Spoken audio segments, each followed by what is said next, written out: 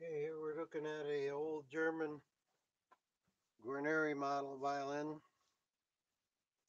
Uh, getting a bridge fit and uh, new strings put on and we took it apart and noticed there was a little top crack that had been glued years ago and that is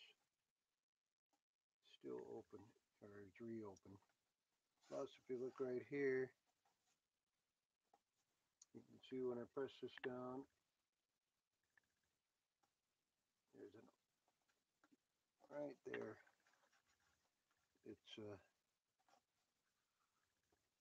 open. Yeah, you can probably, I'm not sure how well you can see it, so we'll glue those two up. It's an old one, turn of the century, eighteen eighty to nineteen ten or nineteen twenty.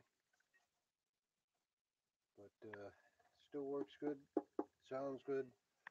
Just needs a little TLC, so we'll get those glued up.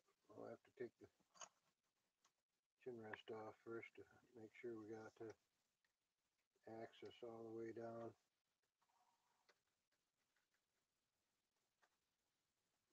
Glue that center joint.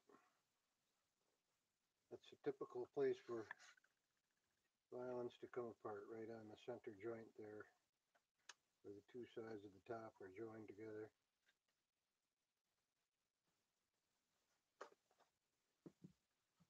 Yeah, it goes all the way down right to there.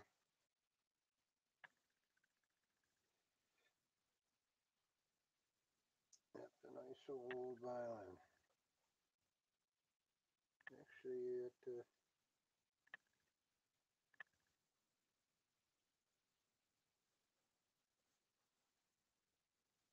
on the inside, make sure everything's good there. It looks appears to be.